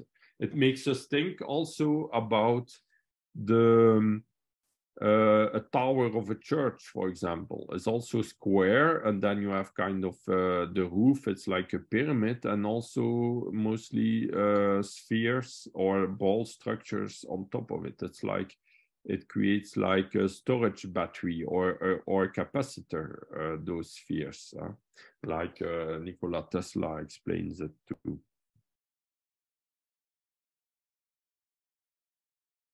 Tesla was coming from uh, Yugoslavia origin it was a Serb I think uh, originally in 2012 uh, before I did my presentation in um, in uh, Guelph again uh, in the beginning of February 2012. Well, at the end of January, I was in uh, Sydney in Australia. And uh, then I visited uh, the botanical garden and I was uh, uh, astonished to discover that there was also, I didn't know that before going there, but I was astonished to discover there was a huge glass pyramid in the botanic garden. And they put, it's really an amazing botanic garden because they put also uh, classic music all over that garden. So it's very, and uh, it's really an amazing garden um, and uh, so I, I, went to visit that garden uh, to, to explain you the anecdote. When I was uh, in Sydney, it was because there was a telecom company uh, that invited me to uh, explain to um, to an apple uh, orchard, a farmer uh, how to grow apples with music. And they wanted to make apple juice to sell on festivals, on music festivals. They wanted to sell uh, that telecom company wanted to to promote um, a platform of music uh, sold by internet or on the, the phones, uh, and they wanted to promote it uh, through um, through a whole campaign of selling apple juice uh, uh, grown with music. And so they invited me to explain uh, uh how uh, to grow apples with music. And when I went there, it was in January, and uh, in France, it's winter time. And so I was not very used to the sun. And so when I went in Australia, it was summertime and the sun in Australia is very, um, very intense. Huh? It's really, and so the first day I, I had a whole red skin. I was like burnt and then I needed uh, to put something uh, to, to heal my red skin. And then I wanted to go to the botanic garden to find aloe vera to help to help uh, my red skin. And so I discovered that pyramid. Uh, so it was not by hazard that uh, God's uh, this uh, or the sun uh, made me red skin. And so to come again to the pyramid, I make a, I made a picture that you see on the bottom that this was a picture made just with my phone uh, and when you look at the picture more closely you see that there's like a sphere on on top of the pyramid. It's like there is a sphere structure. That may be a lightning phenomenon or something but i saw i i discovered this only when i was at a hotel in the evening. I was looking at my pictures and uh, I saw, whoa, that's strange. and so then I put this in a, in a filter of um, an, an, application um, uh, uh, created by uh, Harry Oldfield, an, another inventor. And uh, he he he made applications to analyze light and to make uh, visible uh, invisible energies all around us.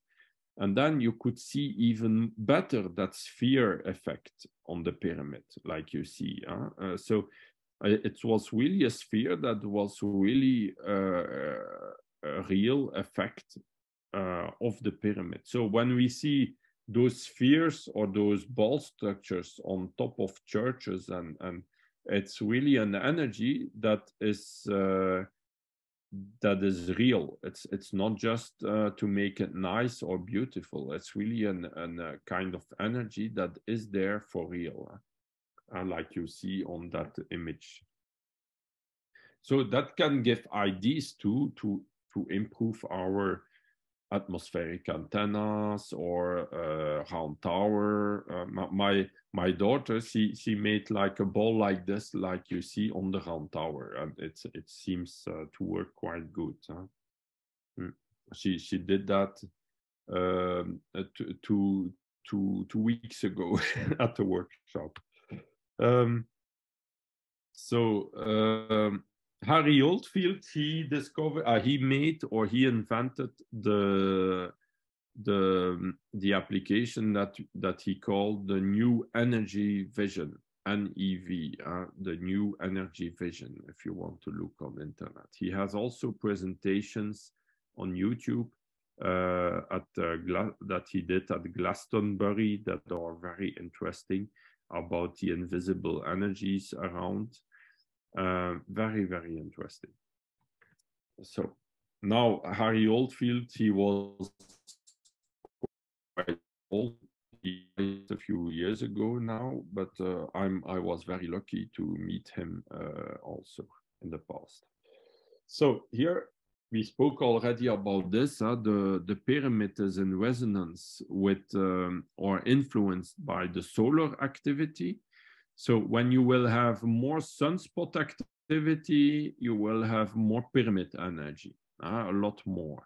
You can you can follow the sunspot activity like you can follow uh, the moon cycle or like you can follow the weather the weather you have uh, applications that you can download for your phone that are called like uh, solar uh, monitor solar monitor or space weather or uh, you, you, you have different applications where you can follow the sunspot activity and then you can have alerts. When you have high sunspot activity then then uh, you know it in advance and um, or you know it the same day and then you can rapidly put your water or seeds in the pyramid uh, before seeding to have more effect you will also discover uh, I, I, I observed this with myself that when there is high sunspot activity uh, are also the days where I have the most uh, imagination and, and, and, and creativity and good ideas. Uh, a lot of inventors, inventions or, or really inventions that make a big difference in our world were made during high sunspot activity or, or high sunspot activity years huh? because it's like cycles of seven years, 21 years. Uh, uh, there are uh, sunspot activity cycles too.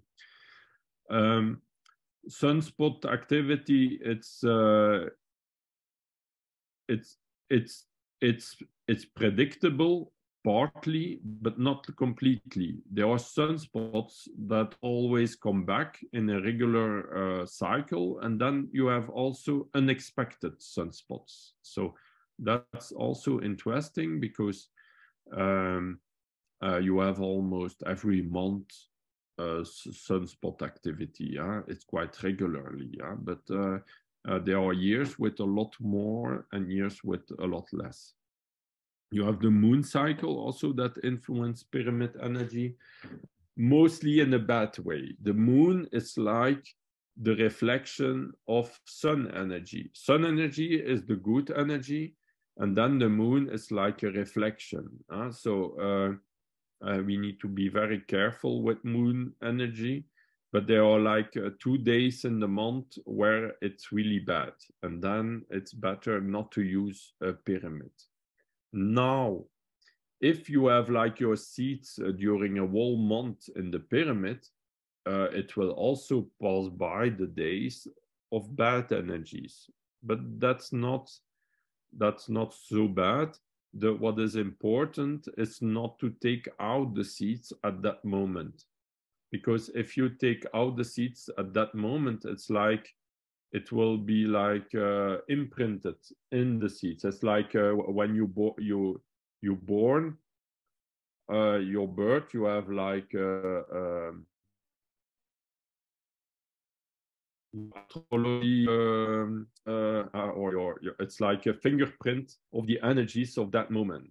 you are like connected to the energy of the moment of your birth. Well, uh, with I believe that with the pyramid, when you take things out of the pyramid, it will it will be like influenced by the moment, the the energy at that moment that will follow uh, the the seed or, or, the, the living organism afterwards.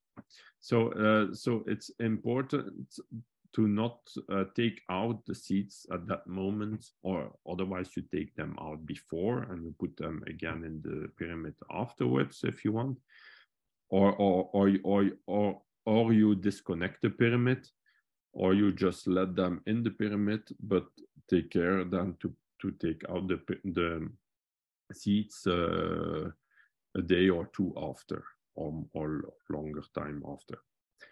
Um, in the pyramid, we also discovered that it's like uh, fluctuations. Uh, at the front, he put like an electronic circuit in the pyramid with a capacitor and coils. And he discovered that when he discharged, that the capacitor was like a battery, was charging with uh, electrical energy. And when he discharged the capacitor, it recharges instantaneously again with electrical energy. Uh, so it's like a pump. It's it's like it uh, it recharges instantaneously with electrical energy. And then he discovered that there were moments where the electrical energy was low on the capacitor and other moments where it was high. It's like you have a battery that ha that will have uh, that will be like 100% loaded at certain moments. And a few seconds later, it will be lower and then again higher and then again lower. It's like a cycle. But he could not discover uh, what was the reason of the cycle or what was the relation with what kind of energy, but it's something we can observe in the pyramid. So maybe it would be something to improve the understanding how to work with pyramid uh, pyramids because maybe if we put the seeds out when the energy is high it will have more effect than we when we take the seeds out when the energy is low and maybe we can make a measurement tool to measure this. Uh, just an idea for the moment but it's something to to explore uh, maybe it will also be related uh, that's for sure with planetary cycles too uh, the influence of the different planets like Mars, uh, Venus, uh, Saturn, um, well, the, those are existing planets that have a real influence also on plant growth and life on Earth. Also, day and night cycle. Maybe it's just something to to to test. Huh? Maybe if we if we energize the seeds at night, it's maybe different than during the day. I don't know, but we have to, for the moment, I didn't do a kind of test like this, but it could be interesting to do that. Uh, you have the fluctuations of pyramid energy, like I told, and also the specific placement of a pyramid. Uh, it's like the round tower. If you put it on a water, on water lines, or um, uh, if you look with dowsing at certain energetic points, uh, it can also increase a lot uh, pyramid energy. Now, it's not absolutely necessary. If you put the pyramid uh, wherever you want, horizontally and in the right orientation, you will already have effects. Huh? Uh, but if you put it on, on the right uh, specific spots, it can it can really uh, increase uh, the effect. So that's also good to know. I see there are a lot of comments. There will be a lot of questions to answer. so um, other testimonial it's uh, here on uh, pumpkins. I did a little test uh, in the pyramid. Uh, so I seeded some in my garden um, uh, without pyramid and with pyramid. And the slugs uh, were attracted first by the ones that were not in the pyramid. So there was only one survived. And, and then you see also that the growth was a lot better in the pyramid. Uh, the leaves uh, were a lot bigger. Uh, uh more seeds survived the the slugs too, and so you see a huge difference. on the bottom, you see really the the the on the left the pumpkins without pyramid the right with uh, they were like a meter away or one meter and a half away from each other. Other uh, observation uh, it's uh, or id from les brown it's it's a pyramid plate and uh, I, I have the, uh, one original from Les Brown like this, and it's in my plan also to make uh, that. I, I made already some uh, prototypes, but uh, I, I'm improving it uh, right now.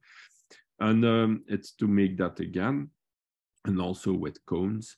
And you see with Kirlian photography that you have kind of energy radiating from the points of the pyramids. And so that's kind of pyramid plate like this. And he made uh, a pyramid plate like this in a kind of plaster, in, in a plaster. And then he put also an aluminium plate on top of it. And he said that the aluminium, so it's, it's from Les Brown, huh? that the aluminium, if you use it alone, it has a bad effect on plant growth. But if you are on preservation of food, uh, because aluminium will like suck the, the vital energy. But when when you will uh, charge the plate on the pyramid uh, plate, uh, then the aluminium plate will be like charged with pyramid energy, and then it has good effects until it's uh, discharged, uh, discharged. So uh, that's interesting. It's like a metal uh, absorbs uh, vital energy, but when it's uh, completely charged with vital energy, like uh, like a battery, then it will radiate it again. And then when it's discharged, yeah, then you have again to charge it. It's like with the basalt in the pyramid. Like I told you, basalt is uh, also rich in metal, in, in uh, iron oxides. And so it's maybe one of the reasons that it also uh, can charge with that vital energy also. So very interesting. And here you see the experiment with the egg uh, on a plate on the pyramid plate. Huh? Uh, that's from the book of Les Brown. It's a guy from Canada that um, that uh, um, uh, that that gave me that book um, uh, when I went there. That has an original one of the books. It's Marcus Koning. It's it's a Swiss guy, farmer installed in Canada, and and he he he. Uh, I'm very grateful uh, to him uh, to to to have shown me that book. But you find that book, uh, a copy of it in PDF on internet very easy. You just uh, put a pyramid, uh, the pyramid, Les Brown, and you find very easily the PDF or you on our group of uh, the course or also on my internet site. So we can, ah yes, um, other uh, uh, interesting effect it's what we call the mummification. Well, people are always telling uh, in research about pyramids about mummification, and they're like afraid of that. But in reality, it's not really what it happen what what happens. It's in reality, it's like just dehydration, and um, uh, but dehydration with high vital energy. So the the at the end you have like mummification it's like the the the living organism is dehydrated but it doesn't rot. So it doesn't decay. If if you would not have uh, the pyramid energy then then it will rot more quickly than it dehydrates you see? And then you don't have that mummification because you you uh, it will not dehydrate uh, quick enough and it will decay, it will rot. And in the pyramid, it will not decay, so it will just dehydrate with time. It's normal. And, and then uh, that's what we call a mummification. So it's not like some uh, would say that it uh, that increase uh, that it would increase that energy. That's completely false. It doesn't it doesn't kill it doesn't uh, increase that energy. It just increase life energy and uh, with time it's normal that you dehydrate or that a living organism dehydrate. It's normal. Uh, it's just the the it's just the water that evaporates. But uh, a proof that it's uh, really high in vital energy is that when you will use that dehydrated food or or uh, food or living organisms that are like fruit that was stored in a pyramid it will increase your energy. It you will have more energy. That you it will also help for health uh, issues or or things like that. It will increase energy. If it was not good it it mm. would not do that effect. Uh, it would have a, a bad effect it's like with the basalt, if the pyramid energy was not good and was um, a, a, kind of killing mummification energy, then it would not be good to put basalt to the plants that was stored uh, under the pyramid. So that's uh, important to to understand that effect because in uh, in uh, uh, in uh, yes in in dowsing groups and things like that or in old books about the mysteries of pyramid they tend to to explain it uh, differently in the wrong way that doesn't correspond with what we observe in reality you see or it's like misinterpretations huh? It's not because they found uh, that uh, mouse in the pyramid that uh, the pyramid has killed the mouse. No, the mouse uh, just was lost in the pyramid, and uh, and uh, when he died, he didn't rot and he dehydrate. So it's normal that you find a mummy a, a, a mummy mouse in the pyramid. Uh, uh, and it and like it doesn't decay so you you you see that the the the mummies uh, stays in very good shape a very long time huh? yeah. So it's it's uh, a good effect in a certain way. We see that also that was a science experiment with yogurt.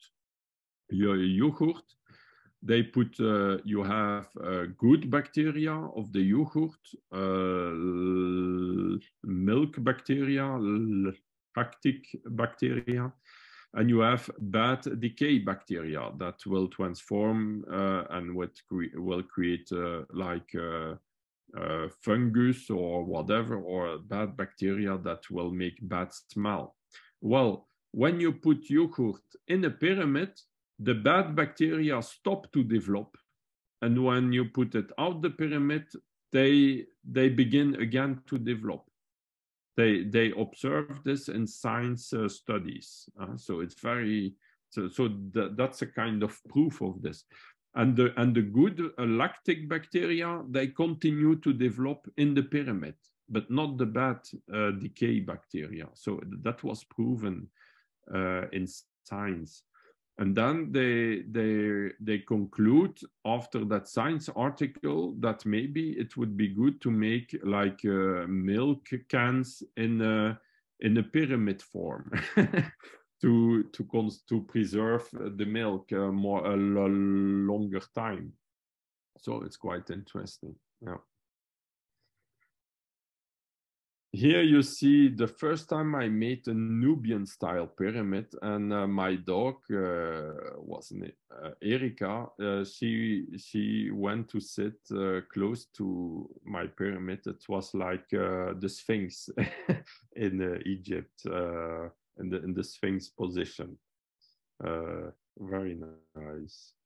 It was a very nice dog too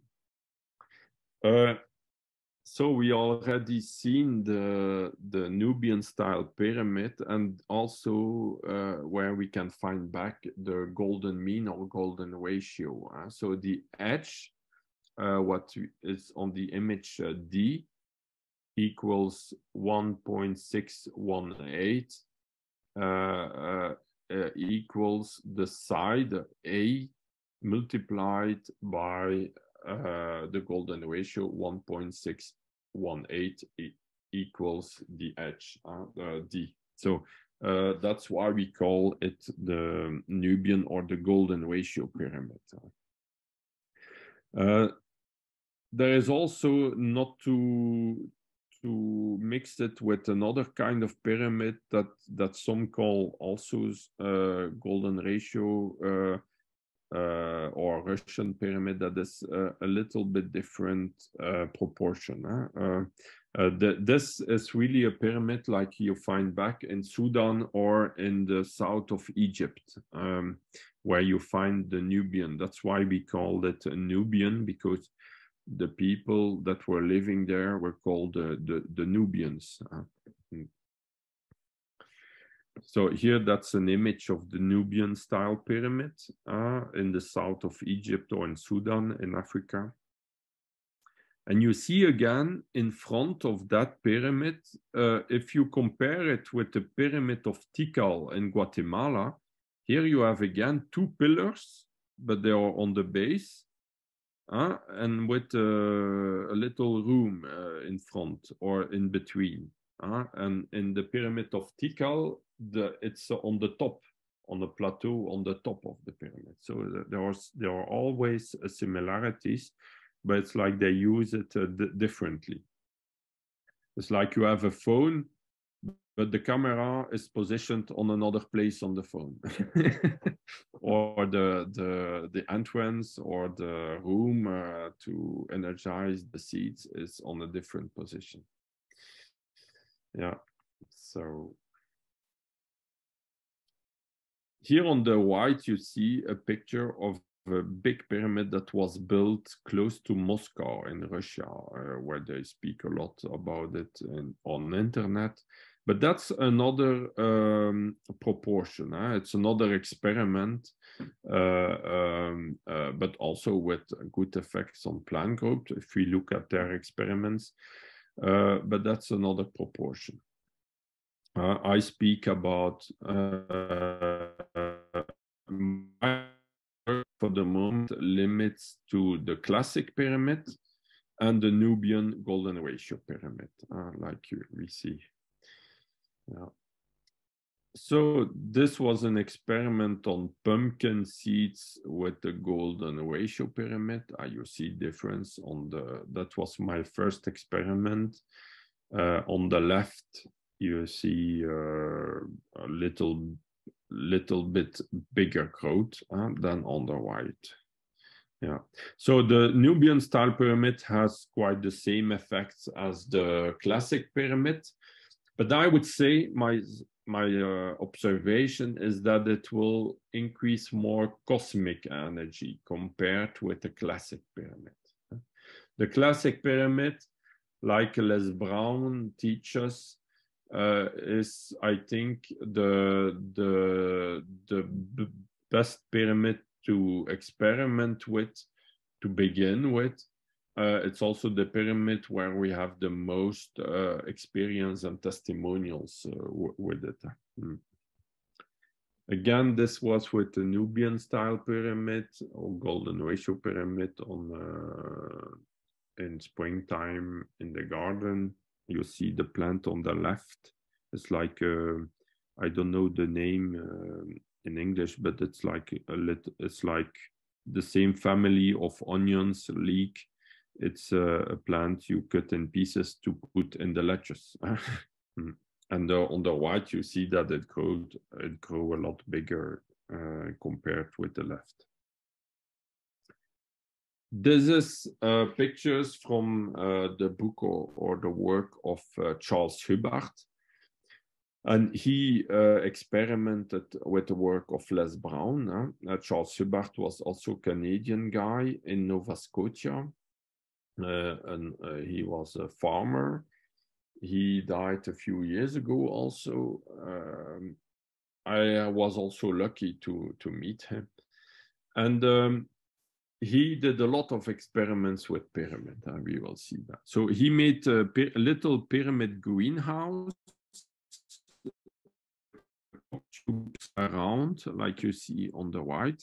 And he made also wooden pyramids, like you see on the bottom left, uh, but also with a copper wire around the wood. So if you want to make a cheap pyramid you can make in wood and then you you just put along the the, the wooden edges just a copper wire and you connect uh, the copper wire in each corner together. And then you have like a, a copper pyramid that is just uh, uh, uh sustained by a wooden pyramid.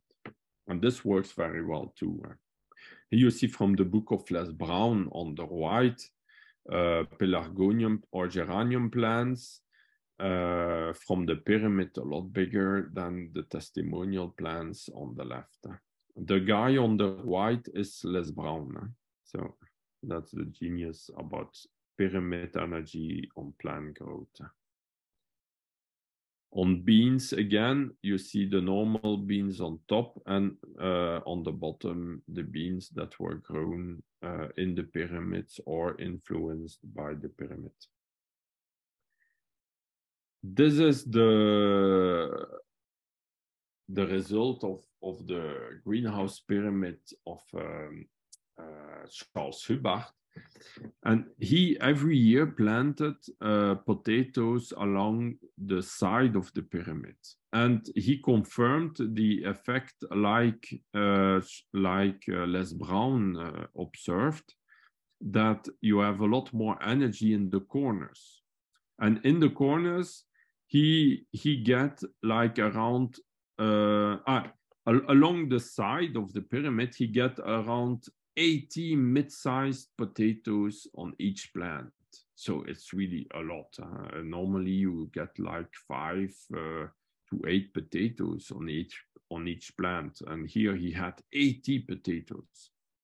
And at the and ah yes, he he had 40 potatoes, and at the corners he had 80 potatoes. Uh, so it's really amazing. And in 2011, uh, there was a high sunspot activity that year. And um, I spoke about uh, my uh, meeting with uh, Charles Hubbard to a friend that uh, make videos. And, and he and that guy, his name is Patrick, he went to, to visit Charles Hubbard and he was able to film in live uh, the yield of the of the potato that year. And he measured uh, he filmed it's on youtube you can find it back. Uh, he measured 137 potatoes on one plant. So it was really a record uh, I, I, never saw this with my own eyes. Uh, in my garden, I never had such big results. Uh, so uh, we, we, I don't know anybody else than Charles Hubbard that had such big results. So we have, we are all, we all need to learn more and to improve until we get the same results as as him. and uh, all the people that uh, or explaining how to do, but uh, doesn't show me results, uh, I prefer to listen to Charles Hubbard. Uh, so uh, uh, we we need to listen to our teachers, and if we can make better than our teachers, then maybe we have discovered a little bit more, and then it's also interesting. So even myself i didn't had so much results but uh, it's i learned a lot from charles hubbard. He is really uh, he was really an, an, uh, an amazing guy very profound uh, interesting uh, uh, philosophy interesting guy. So we continue so that's from also from his garden uh, in the pyramid. Uh, you see the wire, you see the copper wire along the edges on this image. Uh, you see it good. Uh, so it's quite easy to make it like this. Uh, here's another testimonial from a guy from the south of France. You see on turnips uh, different uh, left uh, without, right under the pyramid you see on carrots too. Uh, yes, some will say, "Oh, I have bigger carrots." Yes, but if you put a pyramid, it will they will be even bigger.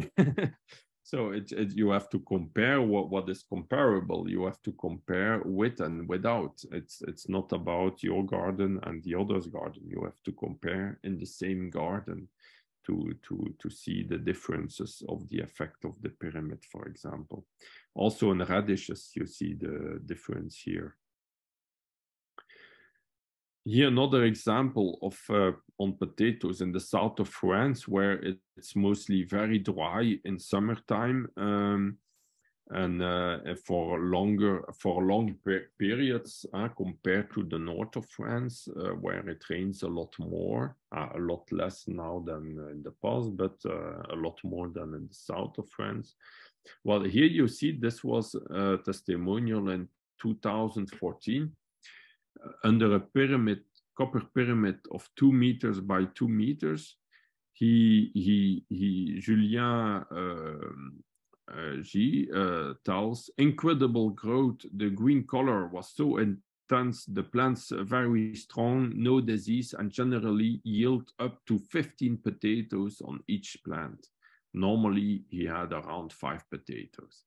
And when you look at the picture, you will see that the plants are really very green huh? very, uh, compared with the grass that is all yellowish all around. Uh, that, that's something you see in very dry places that uh, the, the plants will be a lot more better hydrated uh, under the pyramid. It's like they have access to more moisture and wet so uh, they stay uh, more green uh, even in dry uh, periods. Mm. So very interesting. Ah, this is a testimonial, but can I play it here? No.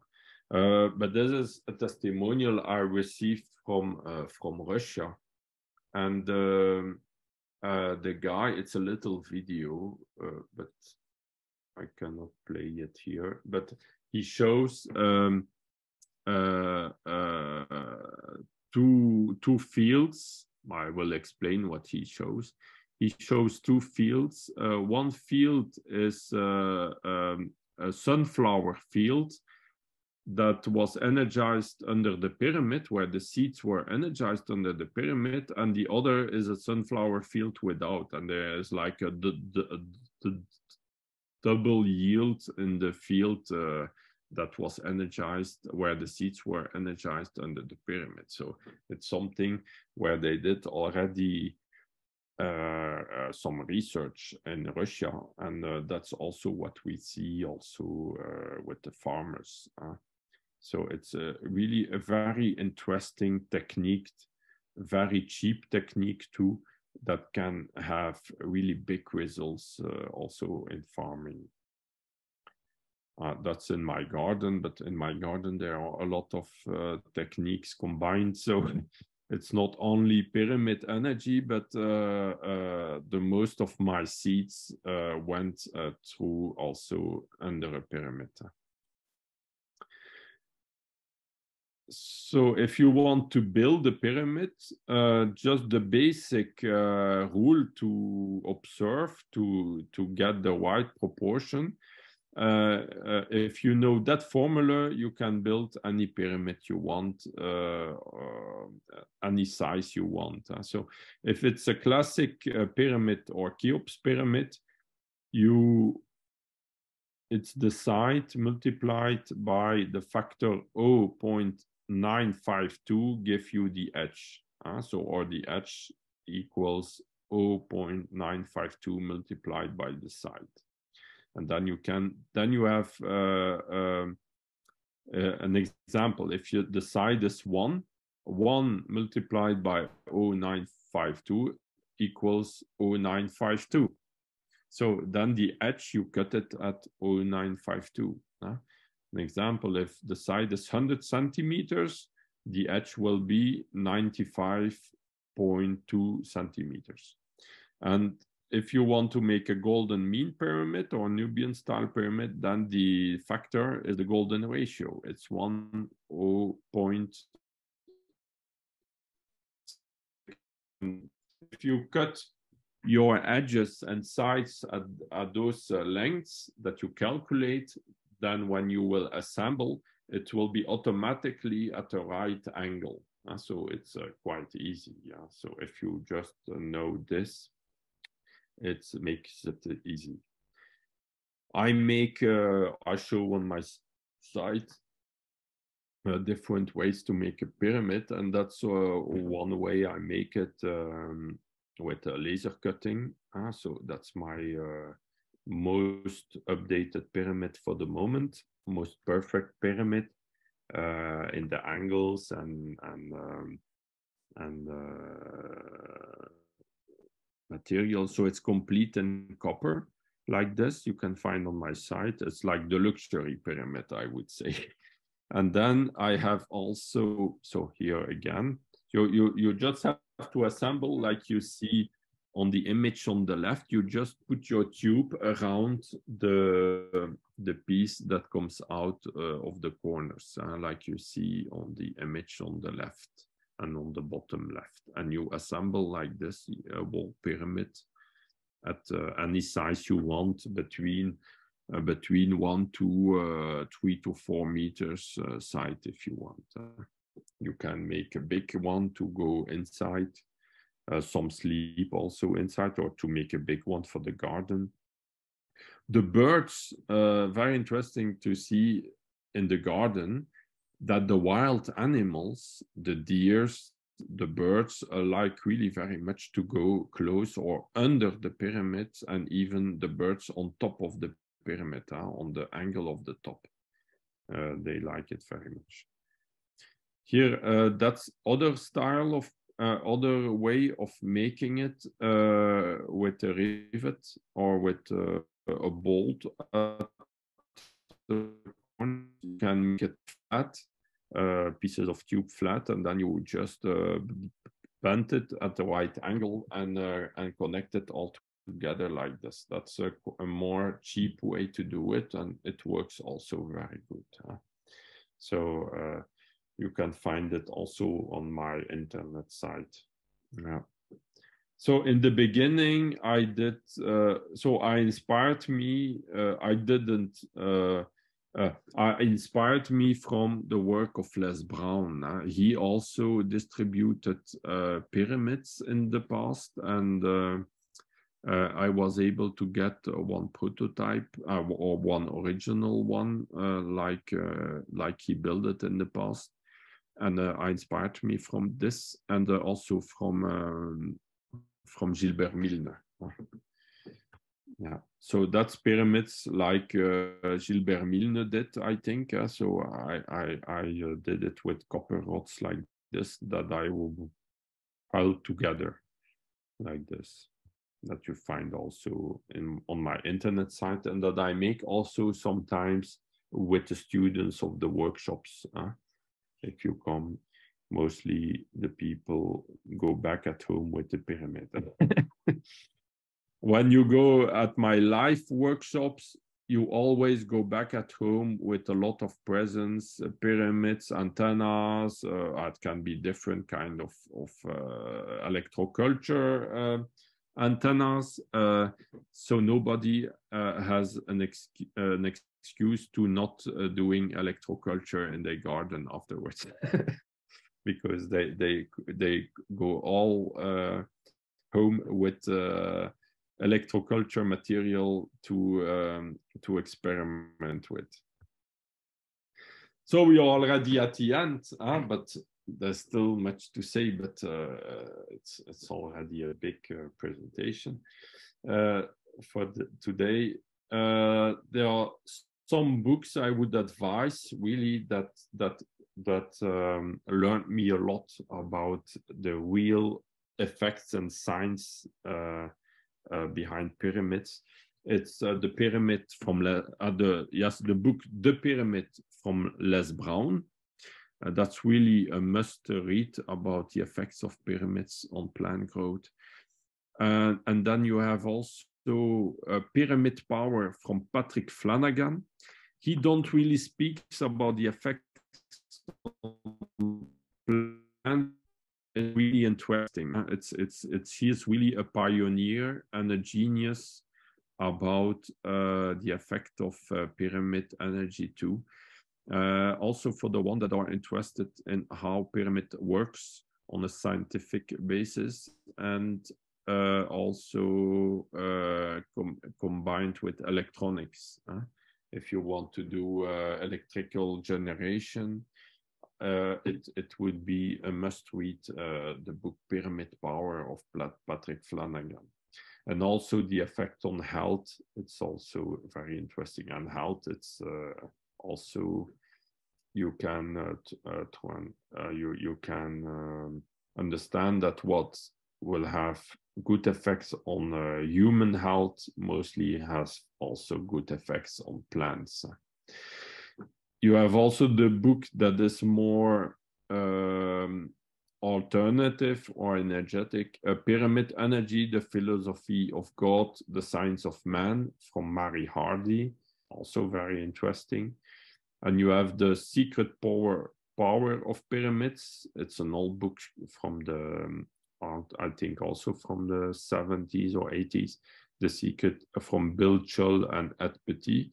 And then I'm also preparing uh, a chapter or a book about uh, pyramid energy, uh, like you see. So you can already find my book about basalt and paramagnetism in French, and it's uh, soon coming out also in English where I show also the experiment that I showed you uh, with the pyramid energized basalt uh, on plants. So thank you very much, and uh, I I hope it was again very interesting for you, and that it uh, it stimulates you to to experiment with pyramids and to share all our observations and results and and uh,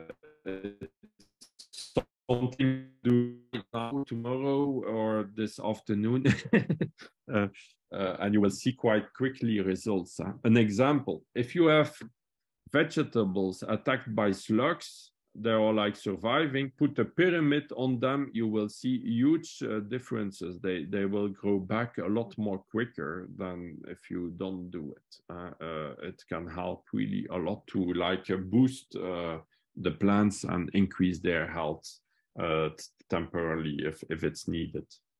Thank you very much. I give you the word, uh, Angela.